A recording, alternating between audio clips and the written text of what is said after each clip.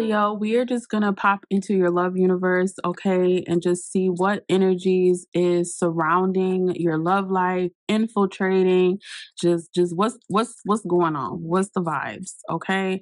So immediately we have the Ace of Pentacles and the King of Chalices and the Eight of Trials. I'm actually really surprised to see these cards, considering considering how I think I just did Elemental Water for love, Cancer, Scorpio, Pisces, and it's not that the vibes weren't vibing over there, but that reading just like felt very private. So you got um so um if you guys have because I'm bringing it up, if you guys have any Cancer, Scorpio, Pisces energy in your chart, it could just be that you guys are going through these um these privacy battles or fluctuations in energy because mutually y'all feel the same for each other. Mutually you have the same goals and intentions. Mutually you have the same benefits to bring to the table. Because i get so tired of internet make it seem like one and or other has to bring something to the table. But this ace of pentacles i feel like is not only seed money and seed love. So I feel like what's happening with you guys, uh, just I'm just gonna say over the course of the over the course of the course is this King of Chalices energy. I feel like becoming more confident with like taking not just taking risks, but just being more being more vocal, being more at the forefront, being more on the scene, I guess you can say. Um, I feel like there's something very introverted about you guys' energy, but I do feel like that comes from uh, you know, just some like pesky enemy wars. Like the King of Swords is normally some type of rival or enemy, like regardless of whatever face he's showing.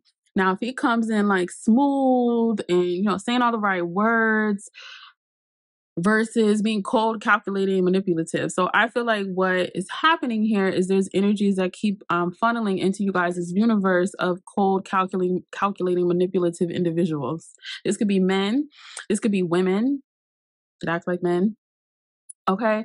Queen of Chalices in the reverse. I do feel like this person is missing um some type of nurturing energy from you or some type of loving energy or just some type of compassion. Or it could be all the nurturing. It could be all the compassion. I don't want to make it seem like it's just a little bit, but I do see that with the King of Chalices upright and the Queen of Chalices upright, I feel like this the particular spiritual battle you guys may be going through is more so about disconnecting the woman or the feminine energy from excuse me from her man from her masculine from her mate from her throat chakra from her voice okay?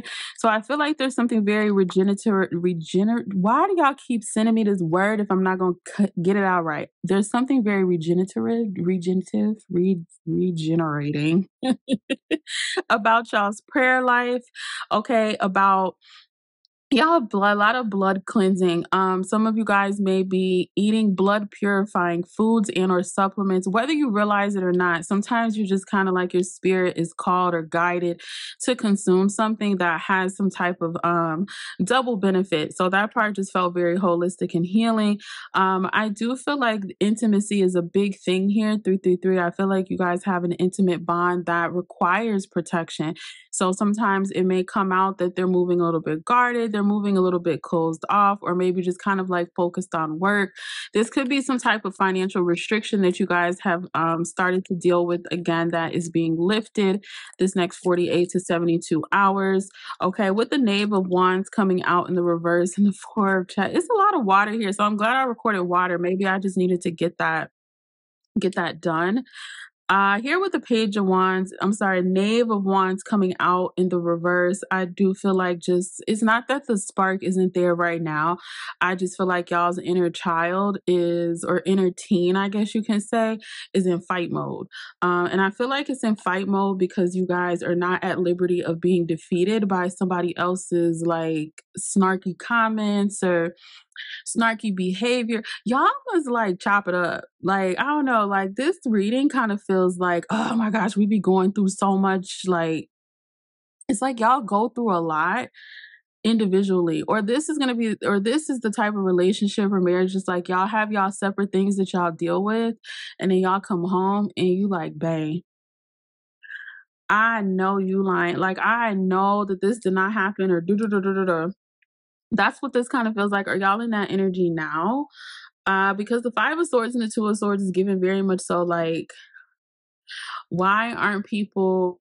Um, y'all must have like Leo in an air house because. It seems like there's more thought forms and thought processes about something that y'all want to do or something that y'all want to talk about, then the action actually is behind it. And that's probably why the of Wands came out in the reverse. Because it's almost like y'all know what y'all need to do. But y'all be like thinking about it's like the think the thinking is so hard here. Interesting. High priestess. Okay.